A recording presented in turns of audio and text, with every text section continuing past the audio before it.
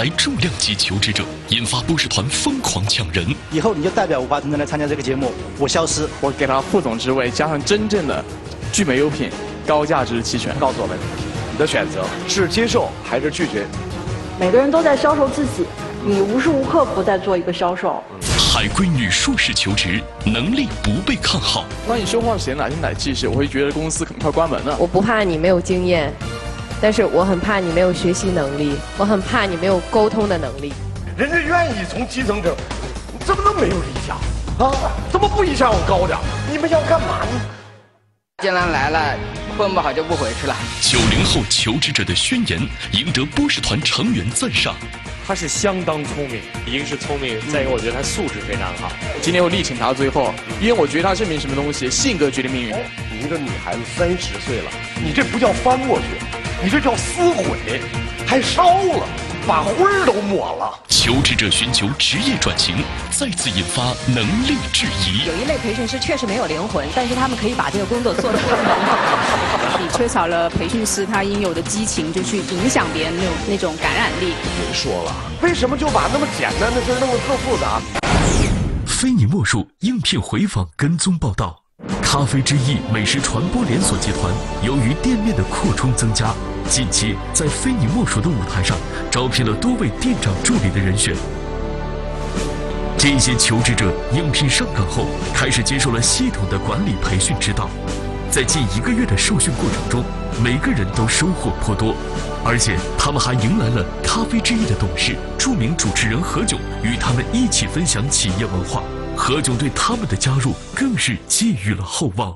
这我们应该算是同事吧，对不对？对，算同事。我在咖啡之翼应该算是始作俑者之一。我跟尹峰，然后我们几个好朋友一起。通过这个非你莫属来到咖啡之一的这几个年轻人，呃，跟他们有了一个虽然很短时间，但是让我印象深刻的一个接触。我觉得呃，他们的这种执着、简单还有认真，给我留下非常深刻的印象。不管他们之前是有什么样的工作经历，或者是什么样的教育背景，我觉得其实，在现在这个多元化的社会，如果你能够用一个执着的心，然后特别认真的这个态度的话，我相信在咖啡之一或者是其他的这个工做领域上面都会有一个很好的表现。那在这里呢，再一次感谢非你莫属，啊，为这个年轻人在职场上可以打开一条新的道路。然后呢，也在这里衷心的祝福在北京开业的北京咖啡之翼能够得到大家的支持。啊，我也会在呃咖啡之翼的北京店和大家有一个不见不散的约定。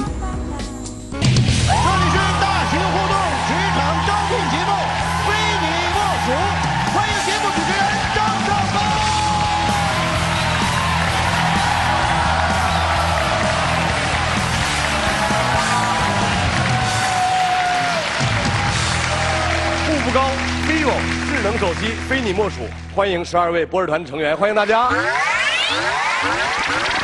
费招聘选五八同城，感谢本节目的特约播映单位五八同城的大力支持，取自全球健康全家，感谢汤臣倍健蛋白质粉对本栏目的大力支持。所有成功的求职者都可以获得由汤臣倍健提供的健康大礼包一份，您可以。呃，登录我们的独家人力资源支持机构“前程无忧”的这个网站来报名。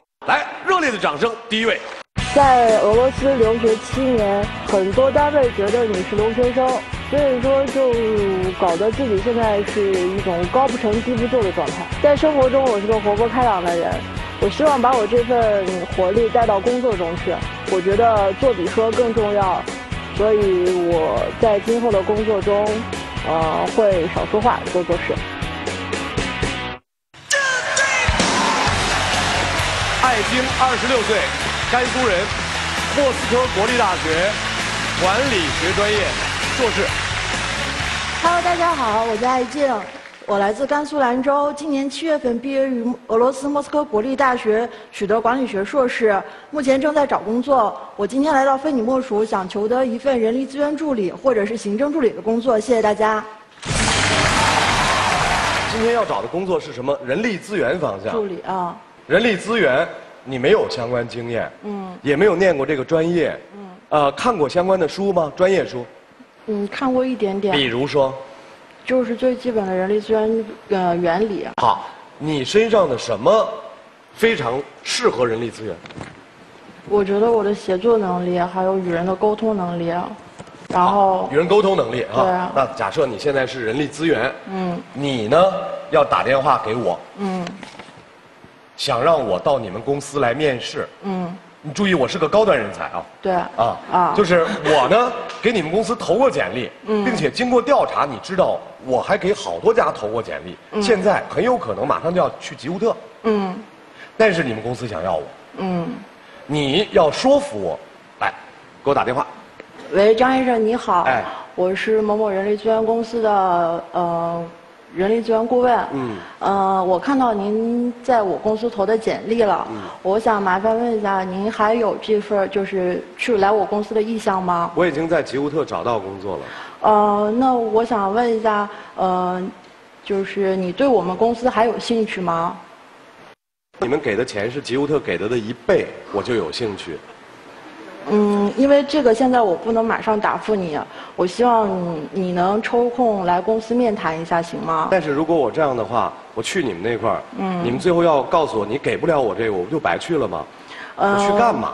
我觉得，呃，来我们公司不会让你来白来的。我觉得这一趟您值得去。好，你告诉我你会给我什么呢？你说不会让我白来，嗯、首先工资这一块儿咱们先不说，因为这都是要跟嗯，就是公司上层要沟通商量的。嗯。但是我觉得以我们公司现在的实力，嗯呃，更适合您的发展，然后更能就是体现您的自我价值，然后在我们公司您的发展空间会很大。嗯好，嗯，他在和人沟通的时候吧，老觉得有点小委屈。对对对，我就觉得我 一直想说，你那个奶声奶气真的是很影响你的发挥，因为在这种情况下，大家每个人都喜欢和对等的人谈话。面对这么一个高呃高高素质的人才，他会觉得如果派了底下一个小孩儿，不是人事总监在跟他对话的话，他肯定不会跟你谈话的。对，而且另外就是说，人力资源要为面试的时候，其实是个销售职能，你得把公司优势销售出去。当你说话显得奶声奶气时，我会觉得公司可能快关门了。如果不做人力资源，还做什么？行政助理。行政。对啊。邵刚，我觉得你一上来说人力资源，我还是蛮兴奋的，因为我们现在就真的大量招人力资源顾问。我不怕你没有经验，但是我很怕你没有学习能力，我很怕你没有沟通的能力。这样，小飞，我给你一个任务，在他的身上，这个任务就是在大家提问的时候，我最后会问你，通过大家提问和他不断的回答，你给我一个判断，他的学习能力到底怎么样 OK，好不好？没问题。好，觉得你自己沟通能力强。其实我们说沟通能力是什么？其实是一个影响别人的能力。好，所以你要说话就有一种感觉，哎，我要影响到他。好，因为我的问题是这样子，你看你在国外待七年，估计花不少钱。你回国找一份工作，现在说行政助理是非常非常基层工作，说好的话可以说你是呃非常踏实。但另一个角度讲的话，七年之后读这么多书，为什么这样一份很简单的工作你愿意去找？因为自己没有工作经历，没有工作经验，我想在这两年就是找一份助理的工作，自己积累一些东西，自己沉淀一些东西。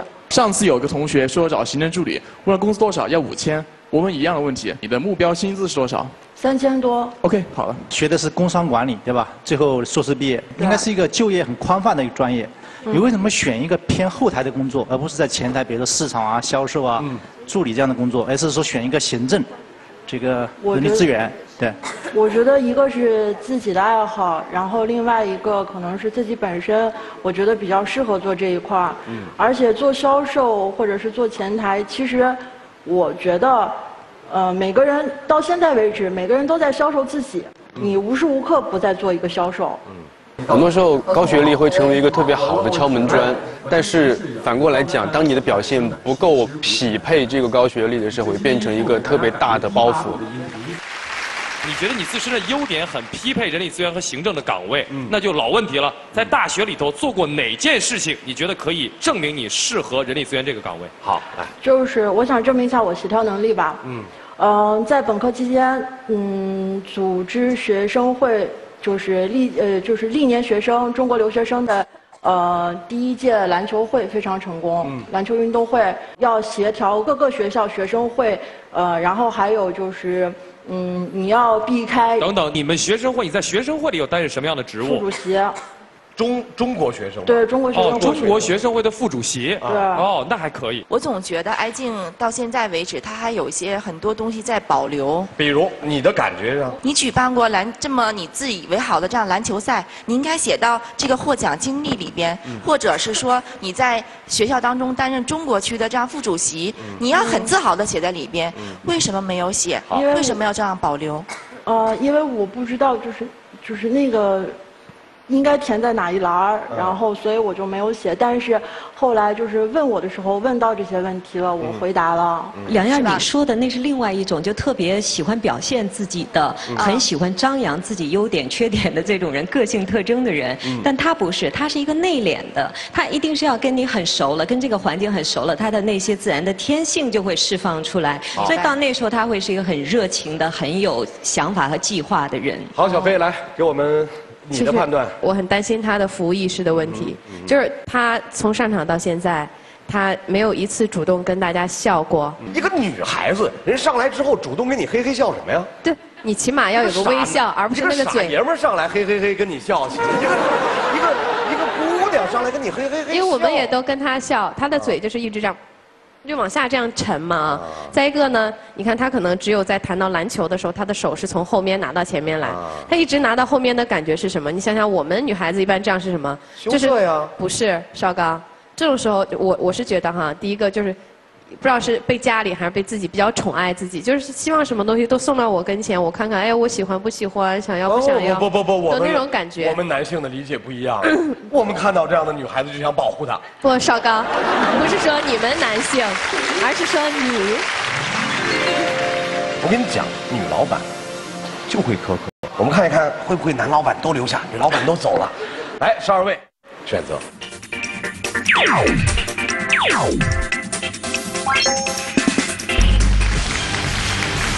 我本来刚才都要走的，说完之后我想了一下，讲完了嘛，要再挺他一下。当然了，来吧，你要像他们这样，你注意，葛小飞有这样的心理，你怎么利用这个心理反击之？这就是能力的表现。天生我有。文杰，我有一个问题哈，你做呃硕士，然后找行政助理，我觉得挺靠谱、挺务实的。但是这是你目前的一个计划，对吗？对啊。呃，那你有没有想过做其他除了人人力资源其他的行业，其他的专业？其他的其他的方向，比如说，呃，营销、我觉得营销我自己可能不太市场、产品。嗯，都可以试试，但是就是我觉得个人比较喜欢的是人力资源。好，我想大概了解一下你的家庭啊，因为毕竟啊支持女儿在外国读那么多年书也挺不容易。你父母是做什么的？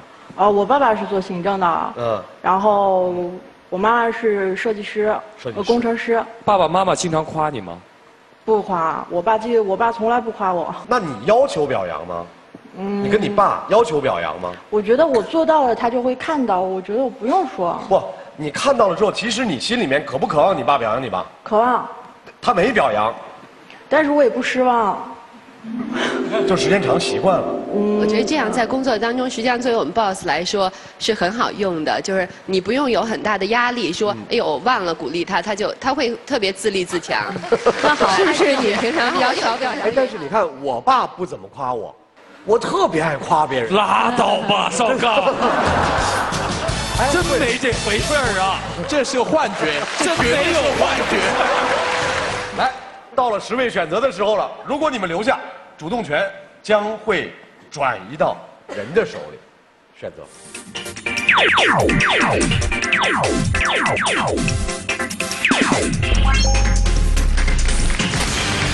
哇，速度太快，我一阵担心，但是没关系，还有两家留下来了，谈钱不伤感情。这样，递交社长提供的职位就是人事助理，啊，三千块钱底薪，嗯，试用期是三个月，对，然后试用期期间呢是折，哦啊，因为你没有任何工作经验，我肯定会要从基层开始做起。明白。金波五八同城，五八同城提供的职位是人力资源部的助理，主要是在薪酬福利方向，而不是招聘方向。我们提供的那个薪资是四千，试用期也是三个月。十五秒钟的思考，告诉我，艾静，你的选择是聚焦摄影，还是五八同城，还是跟二位同时说谢谢你们的好心，我走了。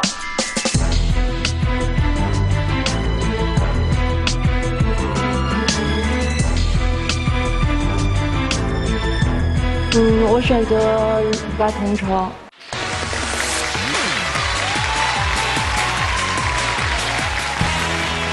免费招聘选五八同城，感谢本节目的特约播映单位五八同城的大力支持。为什么就选五八同城？嗯，之前对五八同城也有一个了解，然后也了解他们也是有一些专门人力资源这方面的工作，所以我个人兴趣还是在人力资源这一块，所以选了五八同城。取自全球健康全家，感谢汤臣倍健蛋白质粉对本栏目的大力支持。所有成功的求职者都可以获得由汤臣倍健提供的健康大礼包一份。您可以呃登录我们的独家人力资源支持机构“前程无忧”的这个网站来报名，或者是呃在新浪的非你莫属官方微博中和我们 BOSS 团的成员实时对话，发表您的感受。当然，本栏目的这个邮箱您也可以投递简历。或者拨打我们的报名热线电话幺八七零幺五三幺七幺幺，移动、联通、电信用户都可以编辑 A G E 加上留言或者报名信息，发送到幺零六六三三五五七七。也许下一个求职应聘者就是您。这里是步步高 vivo 智能手机，非你莫属。我刚刚高中毕业，非你莫属这个平台比较好，台上的老板就是比较能看重你的各方面的能力，自己的能力展现出来，就能提供一份比较。合适的工作，因为我自己现在也不太清楚能干一些，就是干一些什么工作，就是如果有合适的，都可以考虑一下。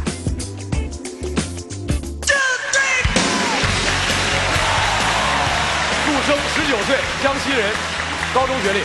大家好，我是陆生，马路的路，太阳升起的升，就是太阳升起的时候出生的。今年十九岁，来自江西。今年七月份高中毕业，来到非你莫属。我想求职的职位是，等一下，营销策划的助理，或者是市场营销，或者是三维设计相关的工作。我相信我的经历和我的年龄有点不太相符，但是我相信一句话：莫笑前路无知己，天下谁人不识君。谢谢大家。创纪录了。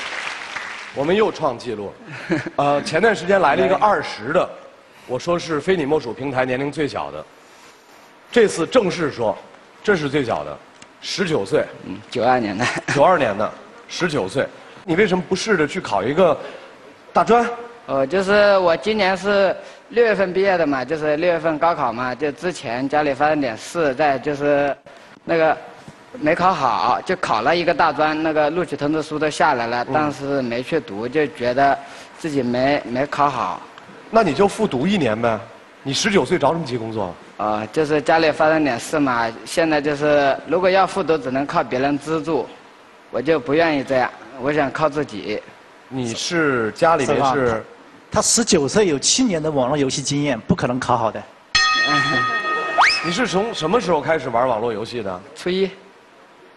玩到什么程度吧？玩到什么程度？就是在可以卖东西给别人，就是其实就是网游代练嘛，最后不是网游代练，卖东西给别人的那种，称为游戏商人吧。你现在玩游戏是因为喜欢游戏而玩游戏，还是为了挣钱玩游戏？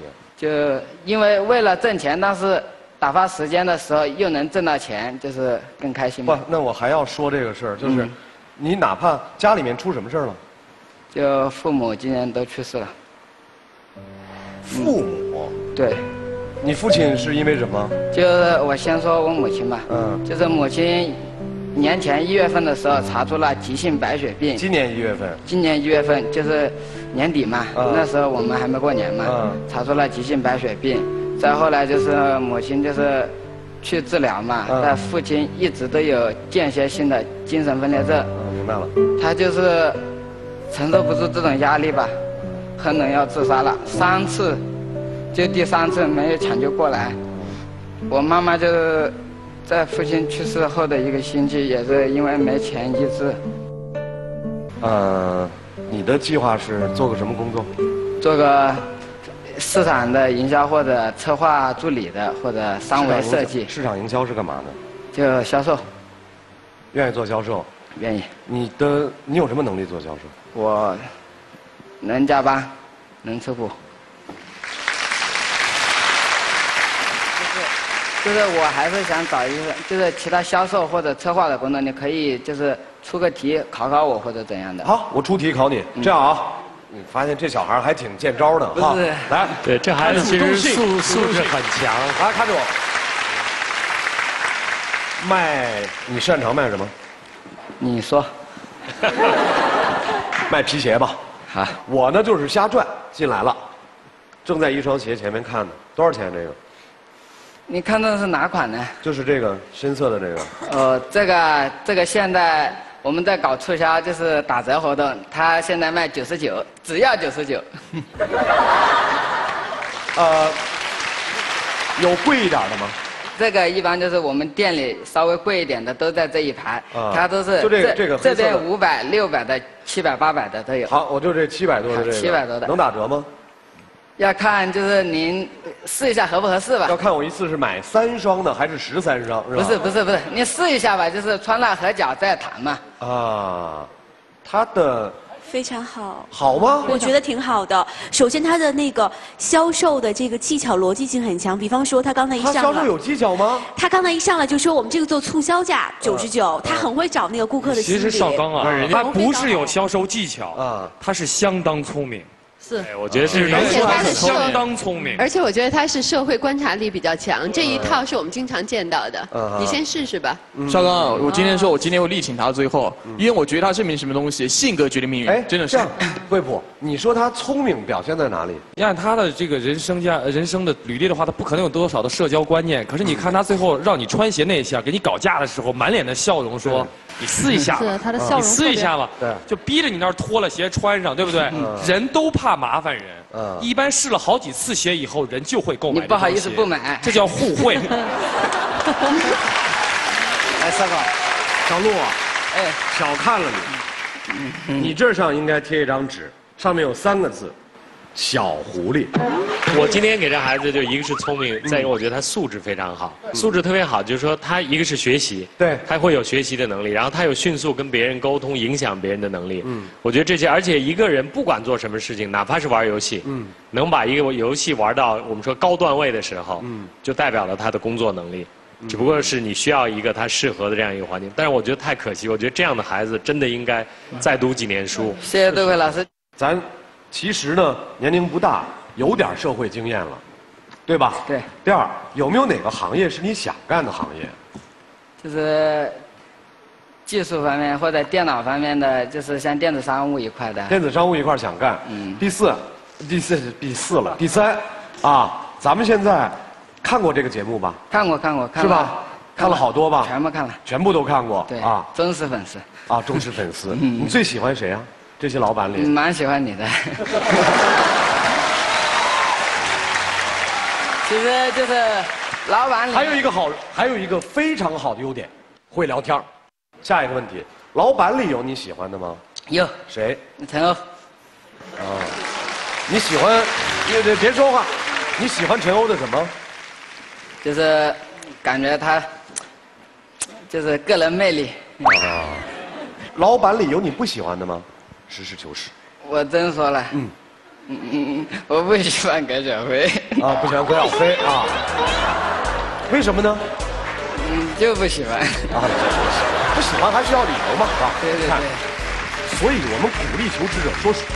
你看，听完你说的实话，葛小飞多开心呀！啊，不是。但是少刚，以后不要再问了。刚才我紧张了半天，吓坏了，我听成流了。真的我我不会，我不会。我们在这个舞台上看过很多年轻的求职者，少年不识愁滋味，为赋新词强说愁。但是真正面临生活的不幸，这么干巴脆的小伙子，太难得了。来，十二位做出判断。第一次做判断，你们决定让小鹿继续还是离开？选择。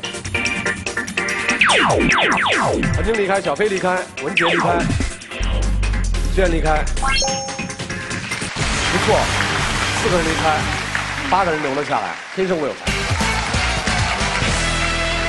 我问你，你在你是坚决的要在北京工作，还是其他城市都可以考虑？最好是在北京，其他城市也可以考虑。都可以考虑最最好是在北京。就其他城市考虑不考虑？不考虑。又不考虑了？都没来过北京，就觉得北京是很神奇的地方嘛。就是机遇，我就觉得机遇大，既然来了，混不好就不回去了。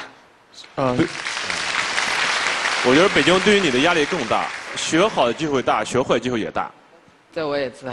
而且，小伙子，我建议你不要一上来从销售开始做，这是因为你太聪明了。嗯，如果真的有一些积累，会很好。所以城市，要如果现在让你回去读书，有能力读书和选择城市，你肯定要选择读书的。所以现在城市真的不是你第一要考虑的问题。好，他可以在工作里面挑一个自己喜欢的方向你可以去参加培训，公司内部的、外部的培训。两个方向，一个是设计部门做设计，还有一个方向是做销售产品的设计。杨老板已经开始给销售产品就是属于产品部，都是从零开始学。你愿意学哪个方向？就是都有人带着的是吧？都有人带对，愿意学那个设计。在设计方向是吧？对。嗯。那还有，如果除了解决这个生活的问题之外，那你自己还有什么梦想没有？博士团新成员龙翠云，汤臣倍健副总经理。汤臣倍健是中国膳食营养补充剂非直销领域第一品牌，二零一零年 A 股成功上市。龙翠云此行与非你莫属合作招募全球原料采购总监，年薪五十万。就是能就在北京待下来好好干。嗯。能找个女朋友。嗯，这是以后的事，还早。不，那你的梦想是什么？赚大钱娶美女。这样，优点聪明，毫无就是不用质疑。但是，呃，有的时候可能因为过早的出来在外面打拼，所以身上开始有一些小小的呃江湖气啊，包括你的梦想，呃，没错，挣大钱娶美女没错，我也想。不是，我就是说的就是气氛嘛。对他又为了气氛，为了好玩，为了大家能够笑。就是我比较就是幽默，有点小幽默。好，来这样，八位做出你们的第二次选择。如果你们的灯仍然留着，主动权转移到陆生手里，选择。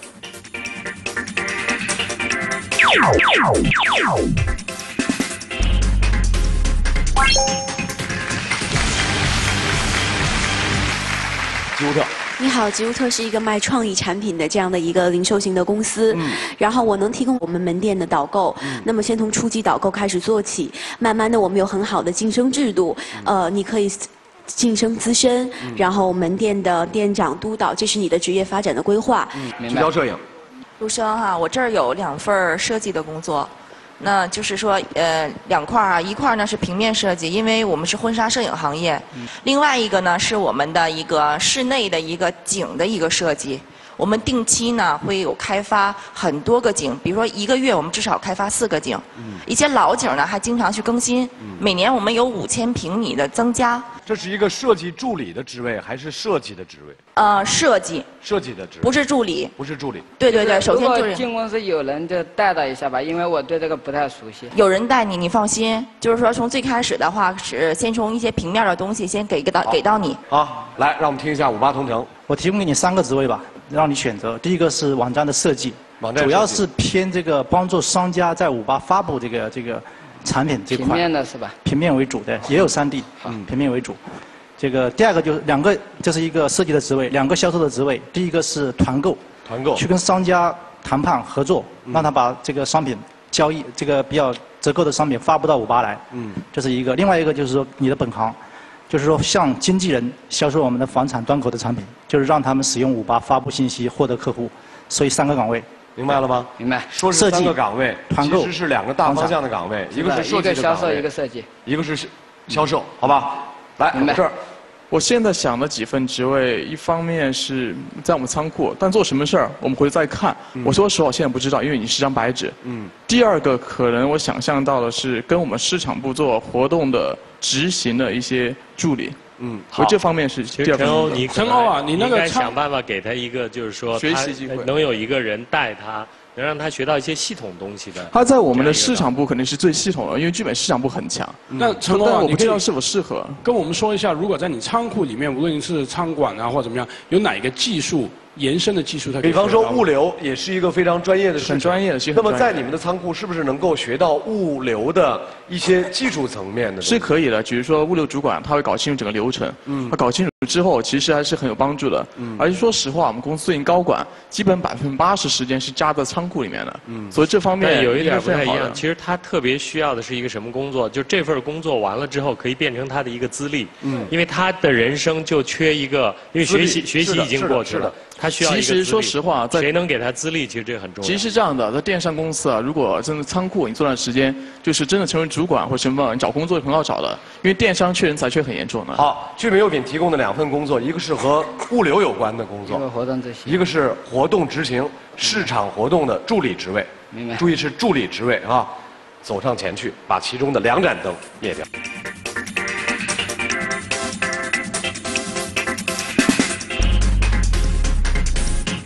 非常感谢你，再见凌霄。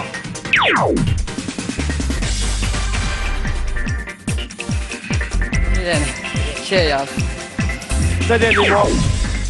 聚焦摄影和聚美优品，谈钱不伤感情。那么我先说，呃，就是我们室内建景设计的那个那个职位，那么呃那个底薪呢是三千。试用期呢是三个月，试用期呢是八折。另外一份工作呢是数码师，数码师这一块呢，你这块呃这个 Photoshop 这块的操作呢，需要根据我们的这个现有的流程，需要跟一个月到一个半月左右。那么这段时间呢，只是一个一千五百块钱的生活补助。嗯。那么一个半月，你当你可以上手工作了之后呢，我们是计件的工作，计件算算薪酬的，大概平均下来的话是五千。数码师的一个薪酬是五千。好，嗯，明白。那陈总说一下您提供的薪资方面。好的，呃，如果有五千工作，我觉得去挺好的。我们这儿如果是库房仓库的话，它是一千二底薪，加上食宿，就是我们是包住宿、包吃的，然后我们是后面加绩效。一般说，一个员工一个月拿两千五到三千左右，这是我们在仓库的。如果是市场部，它确实是没有，嗯，说实话，我们现在是没有这种住宿补的，可以有餐补。啊，一个月工资是两千，因为是一个非常助理职位。我们一般是不招助理从专员起的，但是说实话，我觉得有些东西还需要再积淀。嗯，还有问题吗？可以了。十五秒钟的思考，告诉我们，你选择的是聚焦的哪份工作？或者聚美的哪份工作，或者谢谢再见。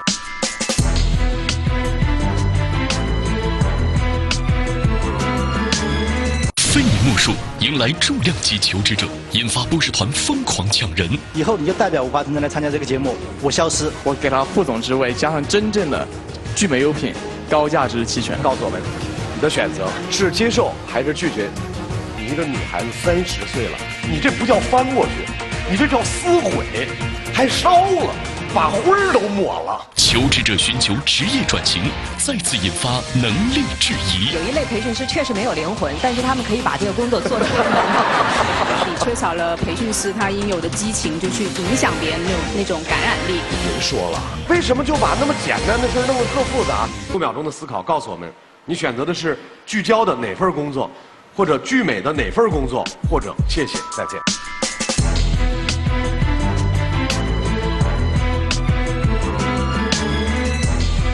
会选择聚美优品的活动执行。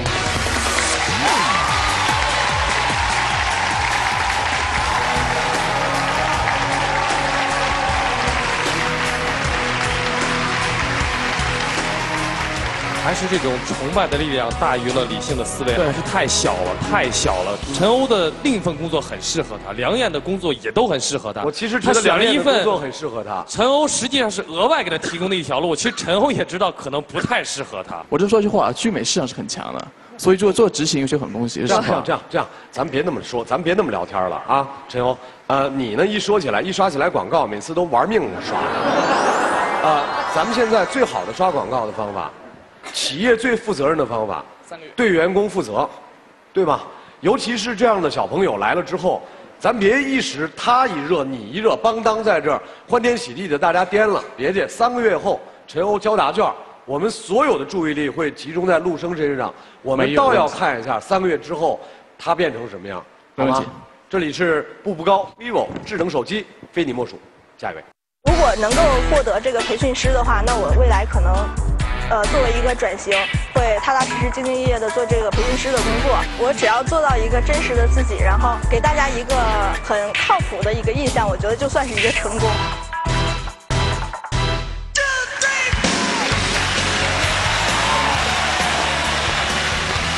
杨欧飞三十岁，吉林人，长春工业大学英语专业本科。大家好，我叫杨欧飞，今年三十岁，毕业于长春工业大学英语专业。呃，一直以来从事平面媒体的编辑记者工作。今天想谋求的职位是培训师，呃，编辑主管或者其他和文字内容相关的管理类工作。谢谢大家。啊，邵刚老师好。哎，欧飞好，学的专业是英语专业。对。英语怎么样？不怎么样。哇，现在大家都很直接哈。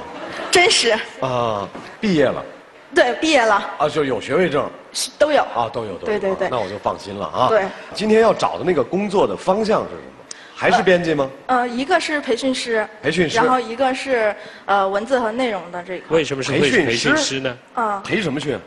杜总呢？人人。人中人。你为什么想当培训师呢？培训内容是什么？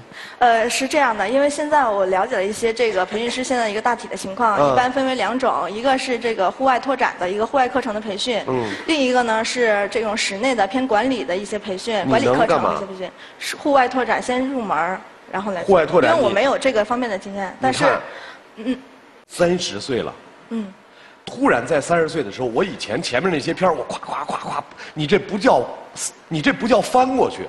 你这叫撕毁，还烧了，把灰儿都抹了。邵刚老师，我能解释一下吗？你能吗？为什么？是因为这样的，我了解了。首先呢，了解一下这个行业的发展在中国的一个情况、发展空间，然后了解到这个一个企业文化，然后最重要的是我了解到这个岗位职责，还有呢，就是我愿意比较喜欢和人分享和影响别人。好，今天咱们现在室外，我替杜老师考一下啊。好，室外这么多人，都是来培训的。嗯，你现在带着这些男男女女啊。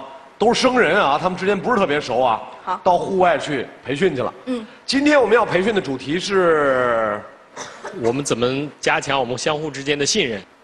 开始。嗯，这边的美丽的女孩子，请呃伸一下你们的左手。稍等。没人伸，知道为什么吗？大家都。我要是伸了，我就会想，别人该怎么看我呀？我要是不伸，我就想。我丑吗？于是你看到你这问题问完之后，所有的女孩子就 紧张，她会紧张呢。你说你对这个行业了解很多，我请问，人众人在拓展行业是什么地位？人众人的几种拳头产品分成分别是什么？人众人的一个核心产品叫沙盘技术，从哪儿引进的？知道什么叫皇帝不急太监急吗？谢谢惠普哈。呃，人众人现在在这个行业里面呢，是呃户外这个拓展的一个品牌的缔造者，是一个行业的翘楚。嗯。呃，然后他现在呢主打的课程呢，呃是呃比如呃户外拓展方面的有一些。啊，这个销售力的培培训，销售力激励的一个培训，比如说有一些年会管理类的课程呢，现在主要有的可能是一些管理呃偏管理的一些内容吧。这个第三个问题。第三个问题我确实不知道。呃，你要做培训师，你对这个职业本身有多热爱？嗯，非常的热爱。到什么程度？非常从哪儿来？从理想和理智的双方面。那早干嘛去了？就是之前一直看，知道杜奎老师，知道这个杜总的，但是不知道怎么联系上。通过我们的节目能联系上。来，陶老师，您接着分析吧。就从你上台到现在为止，我感受不到你真的热爱某一件事。那你刚才谈到培训师这个职业的时候，也一样是罗列了啊，这个职业未来很有前景等等，不拉不拉不拉不拉很多东西。可是那些全部是外在的物质条件。培训师里倒是有这样一类，就是那个有一类培训师确实没有灵魂，但是他们可以把这个工作做得很好。哎，就是，但是还蛮有，就他的流程化嘛，他是可以做的很熟的。那个惠普知道有这样的一群人是很迷恋这一类的培训师的。啊，曹老师这点说的特别对，就是说。刚才我为什么包括那个小男孩我都觉得他说他素质特别好。嗯，就是在我们这培训师，我那时候讲过，我们的高级培训师的职称里边，我有一条，嗯，不管他是做过什么事儿，哪怕是北京街头修自行车的，嗯，但他告诉我他是修自行车最好的，嗯，都可以作为他申请高级职称的一个标准。好，好，现在到了十二位做出第一次选择的时候了。你们觉得，呃，欧菲怎么样？觉得不错，留下来；否则的话，请离开。十二位选择。五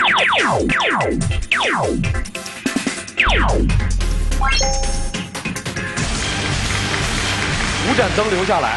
现在你要向他们证明，天生我有才。韩晶提问。我认为一个好的培训师，他最重要的就是要具备一个观念。那他这个观念最核心的一个一个核心内核，就是我想问问你，你觉得你跟下面的学员之间是一种什么样的关系？好，你要对他负什么样的责任？两个问题。嗯，我觉得我跟学员之间可以是朋友关系，但是呃，基于这个培训的一个目的，不能说是一个特别亲密的朋友关系。然后呢，呃，就是说要把我的专业的指导，呃，发现问题、解决问题，嗯，然后达到一个培训的目的是最主要的。我给你讲一次我被那个培训去拓展的经历，我恨啊，就是那个人就是叫培养什么来着？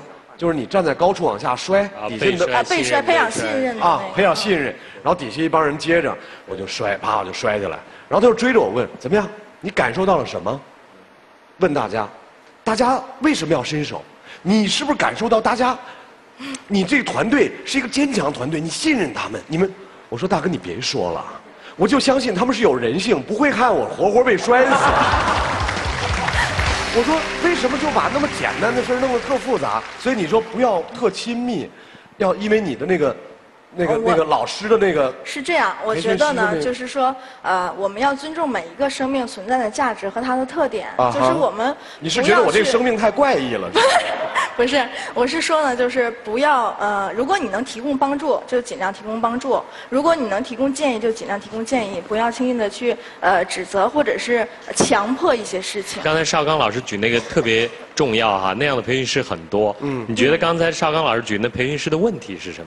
我觉得这样的培训呢，可能是给这个学员造，就是当时可能是会有一点感觉，但是过后可能印象也不是很大。他可能没有感觉到那么深层次。我被培训了好，那是七八年前的事到现在我都历历在目，说明他给我留下了深刻的印象。但这个深刻的印象并不是培训的目的。培训的目的是？培训的目的确实是你能够发现你的可能性格方面的优劣势。我的劣势是？呃，您的劣势。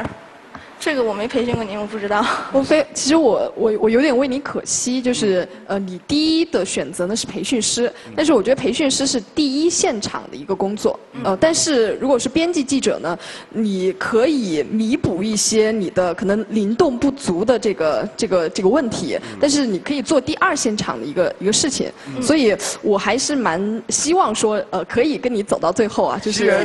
既然你是发现他身上有一个问题，可能是灵动不够，对吧？对。对，这点你承认吗？呃，就说灵动不够，就是我可能偏重于一种专家型的气质，这种感觉，可能就是不是我说我是 专家，而是说我喜欢偏重这种气质，对，比较沉淀。来，小龙。的确，我觉得你缺少了培训师他应有的激情，就去影响别人那种那种感染力。还有一个就是刚才上上刚老师说的，就是说你为什么在三十岁的时候放弃了自己，就甚至说撕毁了自己之前这么多年的积累，然后来选择一个新的一个岗位？我觉得你勇气真的非常可嘉。然后另外的话，想问一下，像我们是呃营养补充机零售终端第一品牌，那我们现在公司是有一个岗位是做我们呃营养一百的。呃，这个内刊的一个主编，您是否会考虑呢？嗯，可以综合考虑。他有，他今年三十岁，有职业经历，而且刚才我们对他的考核基本上都属于性格、行为方式、思考方式和专业的考核。呃，对，无所谓优缺优点缺点，无所谓优点是你的特点。所以五位，你们决定是去是留，选择。小龙离开了，韩晶离开，杜奎离开。文杰离开。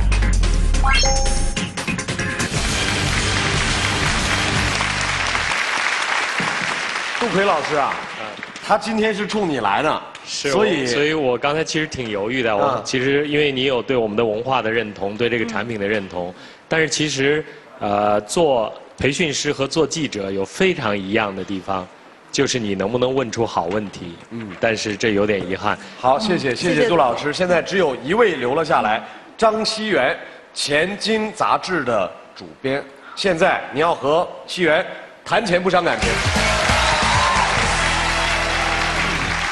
我们提供的职位是什么？呃，这边是两个职位，一个是策划编辑，一个是编辑。呃，编辑呃是大概七千，呃，然后策划编辑呢会更高一些，八千，嗯，但是会需要有一些那个呃牺牲一些周末的时间，嗯。还有问题吗？关于啊，还薪水？还有，啊来继续。我想问一下，您这个需要坐班吗？坐班啊，没有问题。不想坐班不是，啊？嗯，就是确认一下。能接受坐班吗？当然能，能接受加班吗？当然能。周六周日加班？是的媒体就是这样十五秒钟的思考，然后告诉我们，钱晶提供的这份工作，你是接受还是不接受？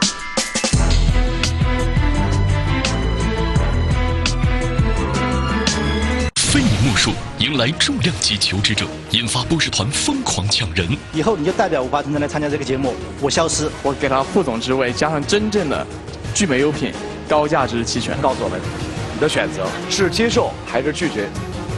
十五秒钟的思考，然后告诉我们，钱晶提供的这份工作，你是接受还是不接受？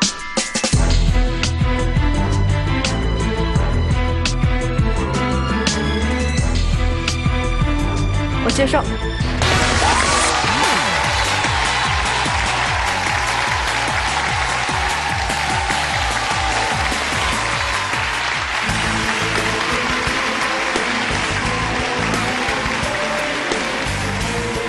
所以我们要调整心态，哪儿呢？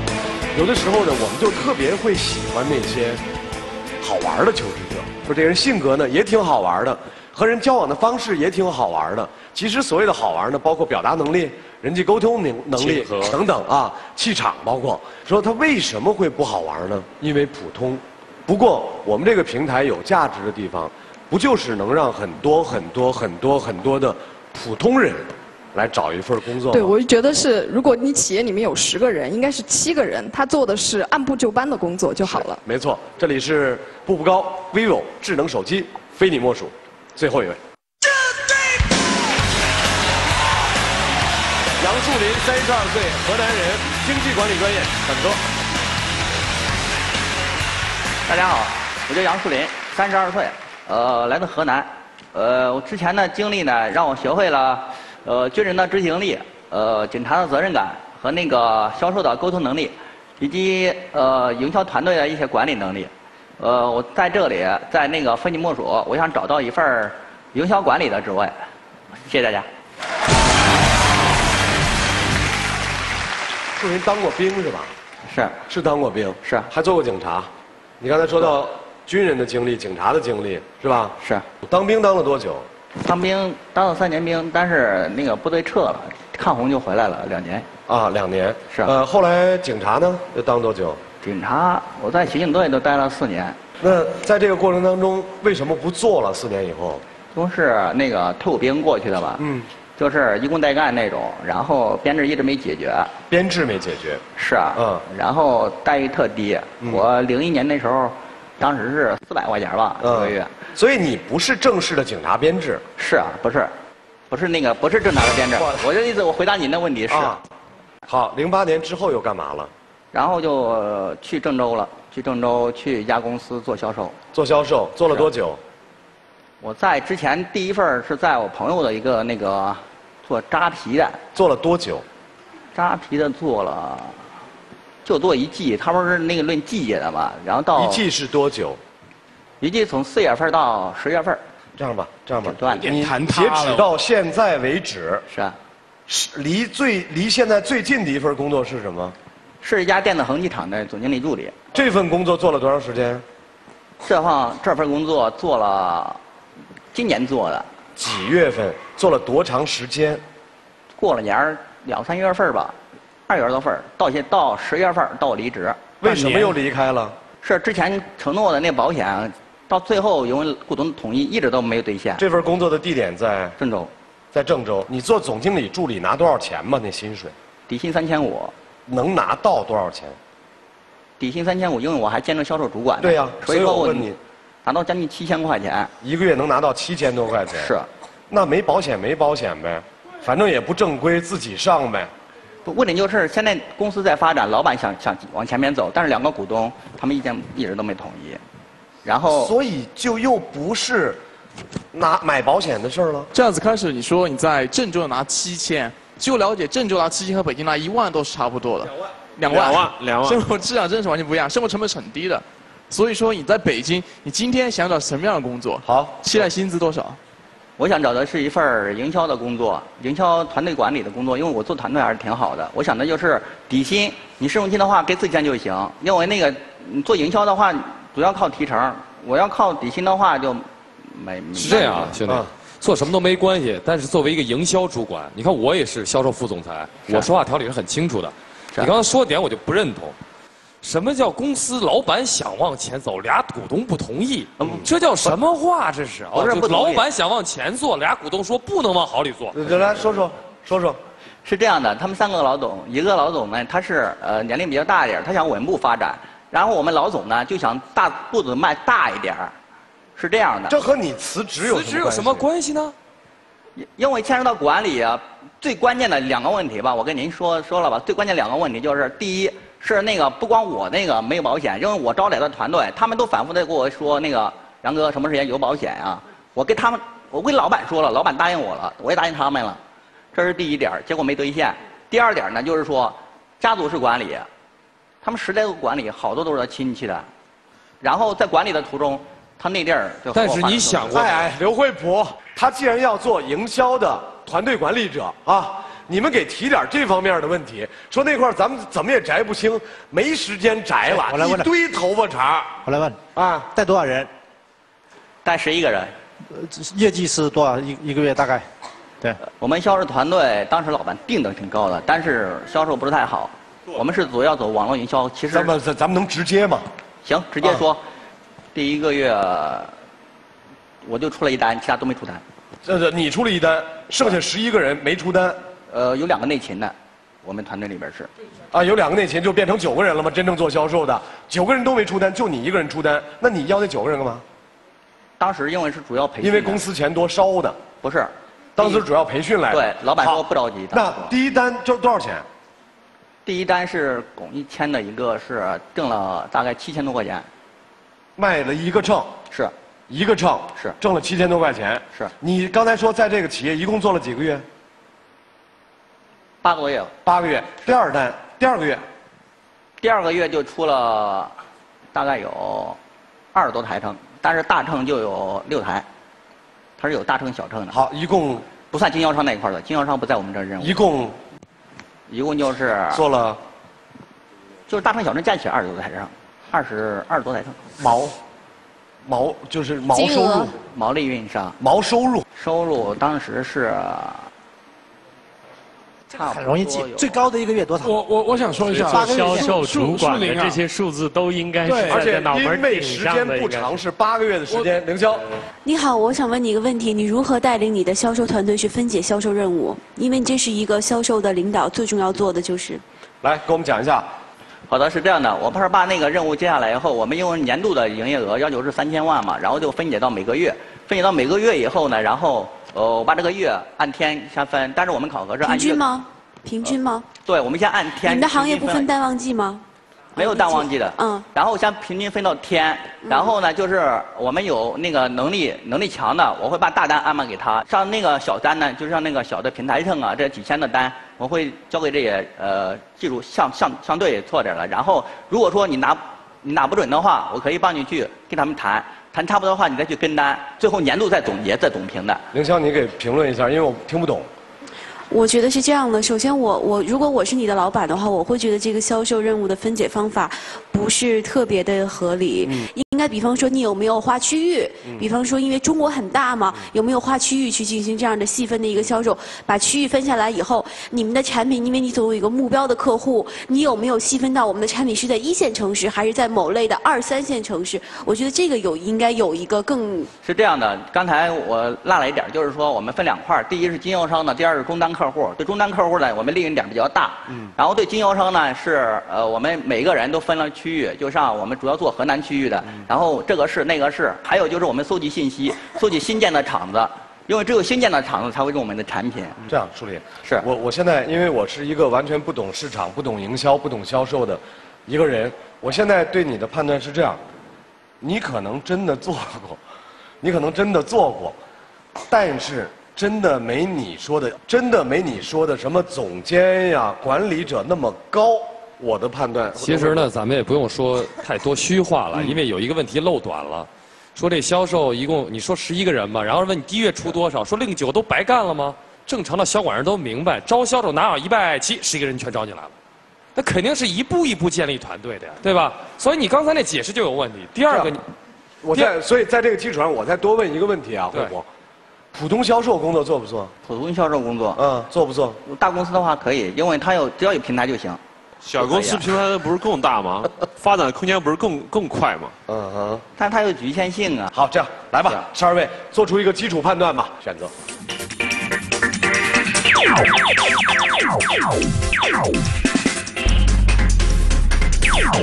二位做出一个基础判断吧，选择。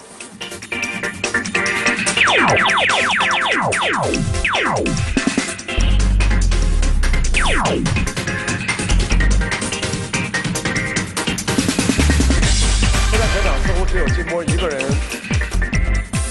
亮着，你是要把这个机会留给他，还是你摁错了，还是在我们的目光注视下你傻了？按我我按错了。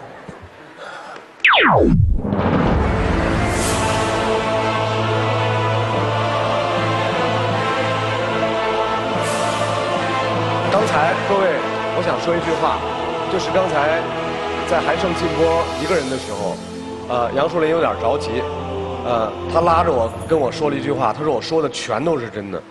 如果你说的全都是真的的话，第一，我建议你下去之后还可以和大家做一些交流；第二，你说话确实，呃，逻辑性太差，这样的逻辑性做销售的总监可能有问题。第三，可能有稍稍夸大的部分，可能有啊，呃，越实事求是越好，好吗？反正我抱歉，我就想说最后一句话。嗯。我可以保证，您可以去调查，我说的全都是真的。可能你们感觉有点不理解，谢谢各位老板，谢谢。呃，树林确实一直到现在要离开了，双手还是浸满汗水，全全都湿了。是。呃，重新梳理一下自己的思路。行。呃，把这次当做一个有意义的尝试，然后让自己的那个清晰一些、准确一些、点更准一些，一定能帮你找工作，好吧，树林？谢谢树林，谢谢，谢谢，再见。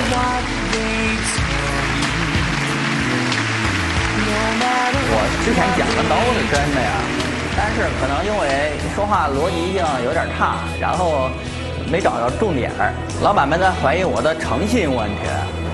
其实我这人我最最重的就是这个，结果今天太矛盾，竟然是被一诚信的问题给否定了，这点我反正不管怎么说吧，也接受这个结果。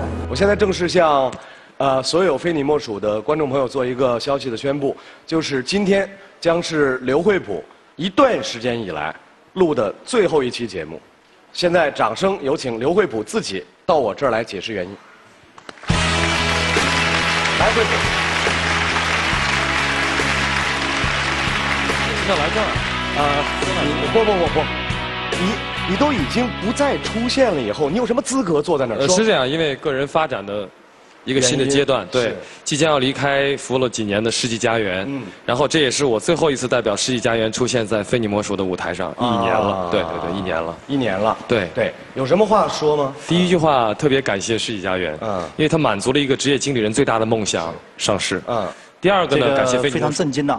认识了这么多一年以来相濡以沫的好朋友，而且招到了非常多靠谱的员工，当然还有一个相机电视台的主持人。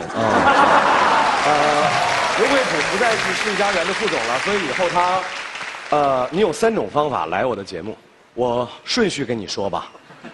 第一种方法，像现在这样，站在我的身边找工作。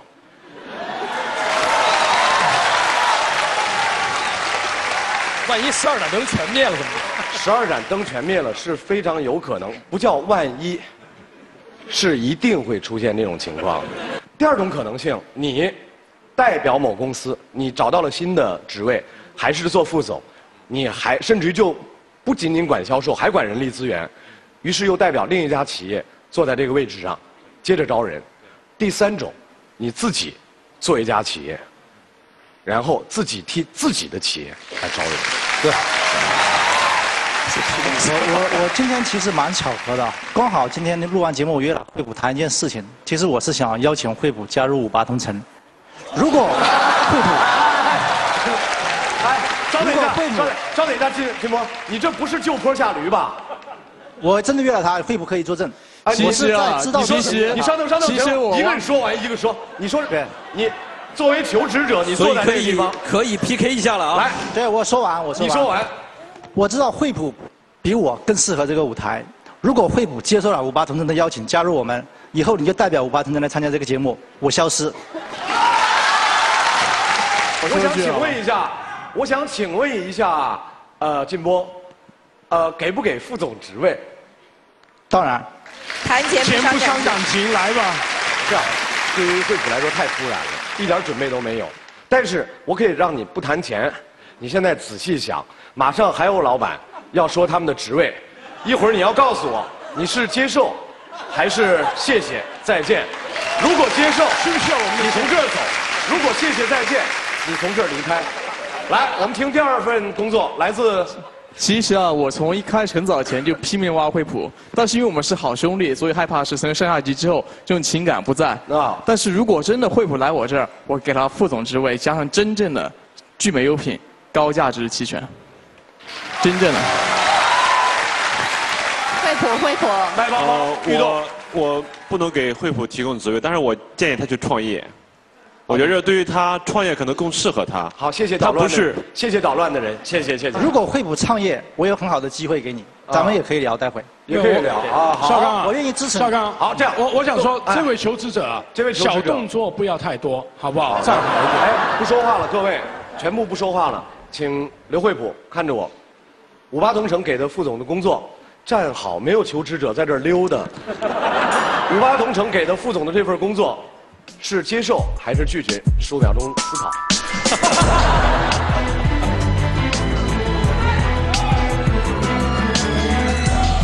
神奇的网站呢，在二零一一年，我只代表世嘉所以谢谢，再见。我可以等，还有两个月。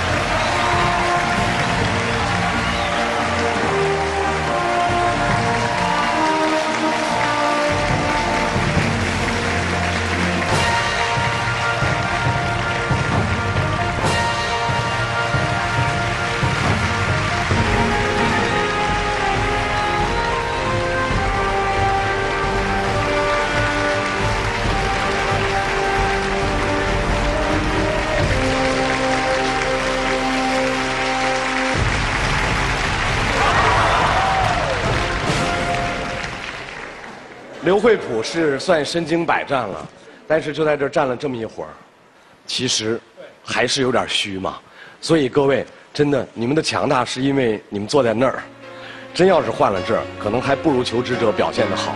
我们那块空了一个位置，从下周开始将会有新人慢慢的来代替刘惠普。当然，我们还会想念刘惠普，同时，刘惠普会以什么样的方式重新回到非你莫属？什么样的奇迹？都会出现，因为我们的名字叫步步高 vivo 智能手机，非你莫属。下次见。